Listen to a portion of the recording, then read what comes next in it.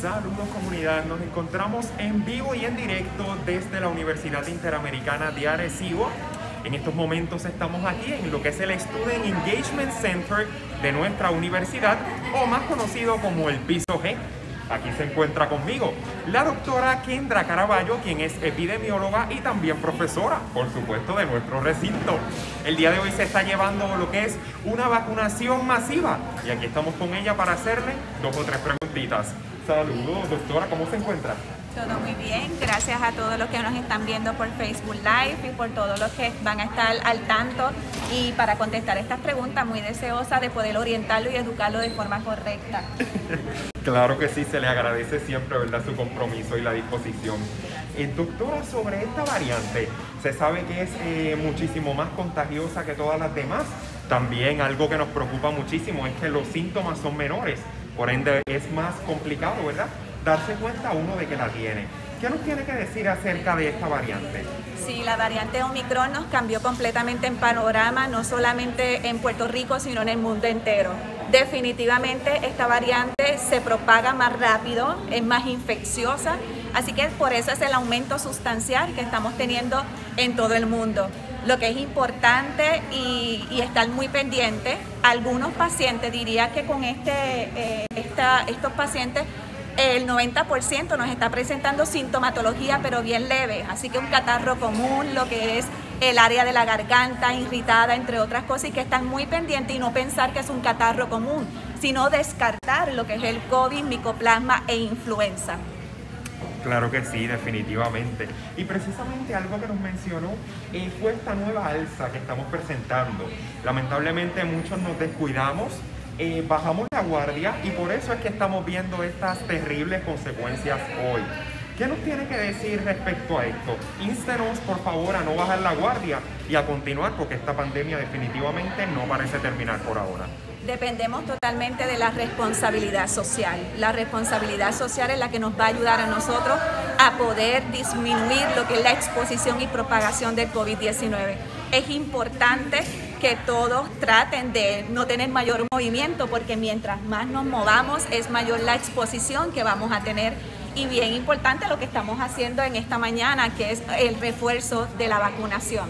Así que no podemos bajar la guardia, esto todavía está y estamos teniendo diariamente sobre 5.000, 6.000, 7.000 eh, nuevos contagios, así que hay que protegerlo, hay que protegernos todos. Wow, definitivamente lamentable. Ya íbamos, ¿verdad?, con muchísima mejoría anterior a, ¿verdad?, a lo que sería esta variante pasando por Puerto Rico. Pero pues... Y el aumento también en las hospitalizaciones, muy importante, y las muertes también. Porque mientras más se contagian las personas, los adultos eh, son los mayores que están sufriendo este alto riesgo y nos están llevando a los hospitales y le está ocasionando la muerte.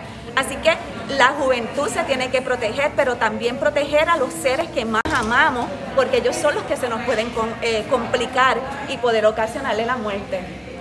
Claro que sí, definitivamente. Eso es, muy cierto lo que dicen, que cuidándonos, eh, que el cuidado empieza por uno. Mientras yo me cuido, también cuido a los que están a mi alrededor. Así que esto es definitivamente muy importante. Recuerde comunidad que estamos en directo, en vivo ahora mismito, eh, para la página oficial del recinto de Arecibo y nos encontramos en lo que es la vacunación masiva aquí en el Student Engagement Center de la Universidad Interamericana de Arecibo. Continuamos aquí eh, conversando con la doctora Kendra Caraballo, quien es epidemióloga y también profesora de nuestros recintos. Y vamos conversando acerca de lo que es la variante, de lo que son estos contagios y cómo prevenirla también. Ahora preguntémosles algunas eh, recomendaciones adicionales a las que ya conocemos y todos sabemos y debemos practicar todos los días. Eh, ¿Existen algunas otras, tal vez doble mascarilla? Definitivamente tenemos que utilizar la doble mascarilla. Continuamos con eh, lo que es utilizar el alcohol, el hand sanitizer, el lavado de manos consecutivo, evitar lo que es la aglomeración, que es lo que nos está causando todo esto de la alza del COVID-19.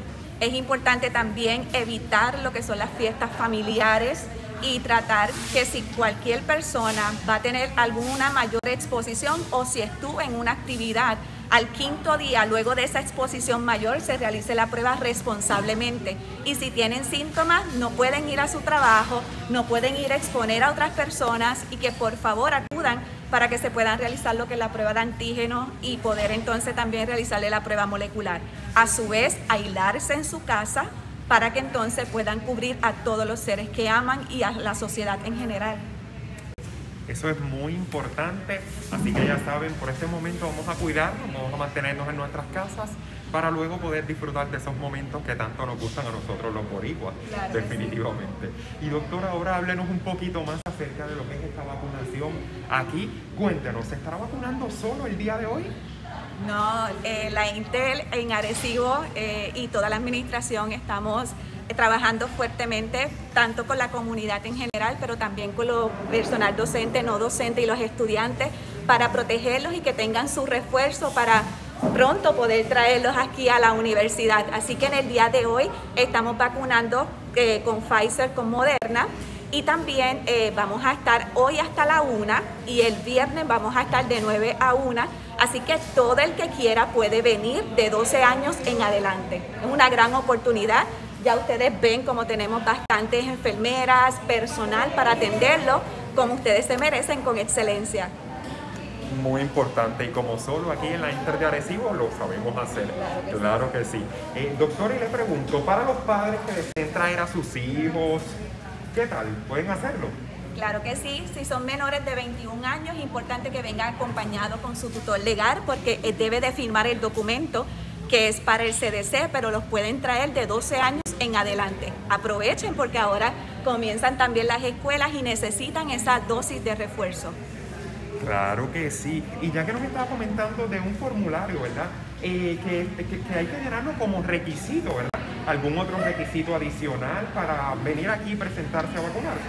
Lo que necesitamos son los bracitos, los bracitos y la disposición de poder tener esa protección, 12 años o más, vengan acompañados menor de 21 años con su papá o su, su tutor legal y simplemente traer su tarjeta de vacuna para entonces eh, escribir la información y que luego la puedan utilizar para su Vacu ID y donde quieran entonces entrar, ya que los restaurantes y todo la están solicitando. Y para viajar también. Así que tenemos que protegernos, crear esos anticuerpos que necesitamos para vencer el COVID-19 y evitar las complicaciones mayores.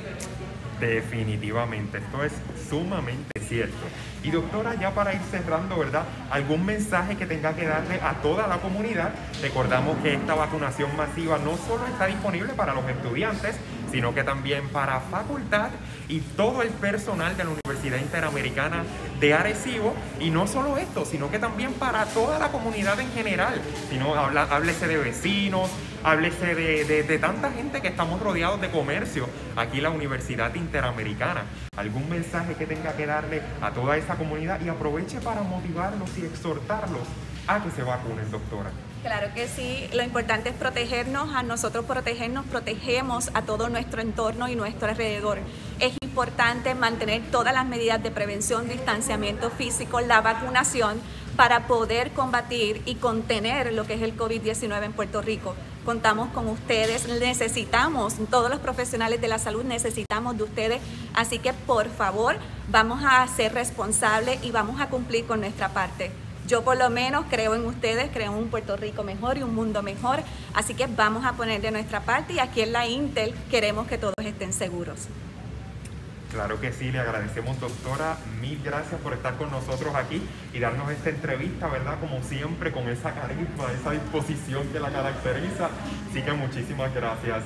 Y estamos en vivo acá por, la página oficial de la Universidad Interamericana de Arecibo y con Inter TV. Eh, aquí reportando desde el Student Engagement Center de la Universidad Interamericana, donde se está celebrando esta vacunación masiva. Repasaremos algunos datos. Estamos el día hoy, miércoles 19, hasta la 1 de la tarde y también el viernes 21 de enero del 2022, a partir de las 9 de la mañana y igual como el día de hoy, hasta la una de la tarde. El acceso sería por la carretera número 2, la entrada nueva de nuestro recinto al ladito del correo para que nos conozcan un poquito mejor, ¿verdad?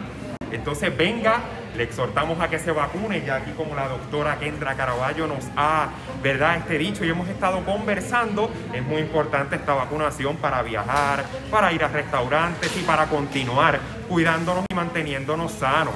Recuerde que menores de 21 años también deben estar acompañados por un adulto para que puedan eh, completar este relevo que se está llenando aquí.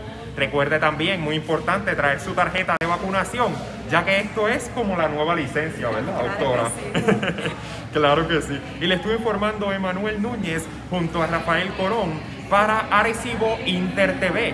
De aquí para ti, doctora. claro que sí. Cuídense muchísimo. Gracias por sintonizarnos.